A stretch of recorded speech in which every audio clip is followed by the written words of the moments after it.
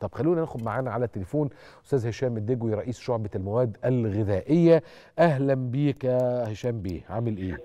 معالي يوسف بيه منور دائما التلفزيون المصري يا فندم. بنورك يا فندم ربنا يخليك يا رب. هنعمل إيه في الإشاعات بتاعه إلحق ده مفيش أكل إلحق ده مفيش كذا إلحق ده مفيش؟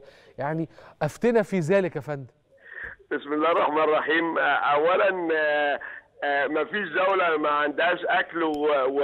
وتوفر للمواطنين آه، 65 مليون مواطن كل شهر 65 مليون آه، كيلو سكر و65 مليون إزاز زيت و65 مليون آه، كيلو مكرونة.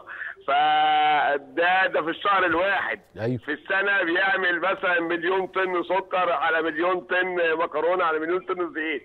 ف... فأني بلد فقيرة أو ما عندهاش منتجات بتعمل الكلام ده. أنا ما بتكلمش على بيع وشراء. أنا بتكلم على تموين للبطايق بتاعت البطايق. التموين إن المواطن بينزل بالبطاقة بتاعته بيصرف كل شهر الدعم بتاعه. بياخد البضاعه دي هنقول السكر سعر استرشاد 12 جنيه و60 قرش. هو ما يدفعوش هو بيتخصم من الدعم بتاعه.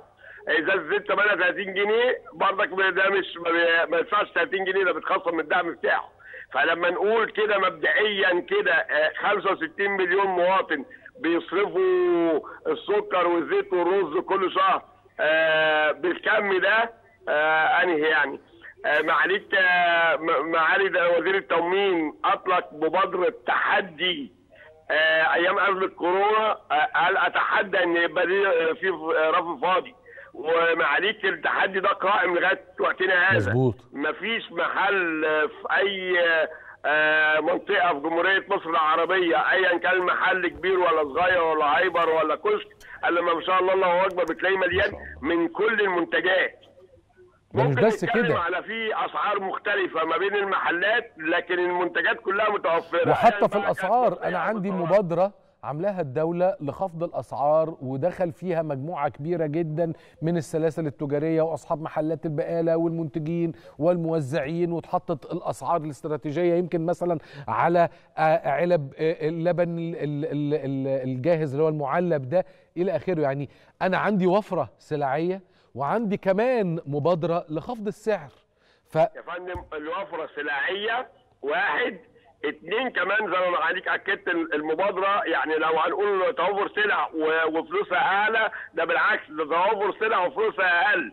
معالي دولة رئيس الوزراء آه، أطلق المبادرة السكر ب 27 جنيه ال- ال- الحكومة نفسها يعني هنقول أول السكر ب 27 جنيه زيت ب 40 جنيه ده في كل آه، الهايبرات. وكمان في آه، الشركة القابضة منافذ الشركة القابضة ممثلة في الشركة المصرية والشركة العامة وأمان والجيش وكل دوت. صحيح. كل ده موجود في المنافذ دي كلها موجودة بكم آه، من ال- ال- البضائع بالإضافة للأسعار. 100% إذا لا صحة. كمان سعادتك البورصة المصرية. بورصة السلعيه الوزارة منزلة السكر فيها في البورصة المصرية.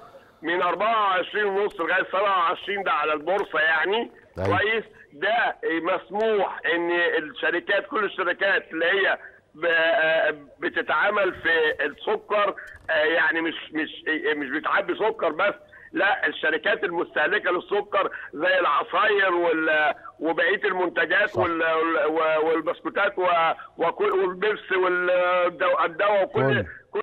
بيتدخل في السكر ده الحكومة موفراه عشان كمان تبقى مساهمة في كل المنتجات دي اللي أسعارها ما يزيدش. يعني ساعتك بتتكلم على المبادرة المباشرة والغير مباشرة اللي بتعمله دلوقتي الحكومة كمان في السكر. فعمليا لا صحه لهذه الشائعات على الإطلاق. أنا بشكرك جدا جدا هشام بيه. كل الشكر لاستاذ هشام الدجوي رئيس شعبة المواد الغذائية. شجع المصري شجع المصري شجع المصري.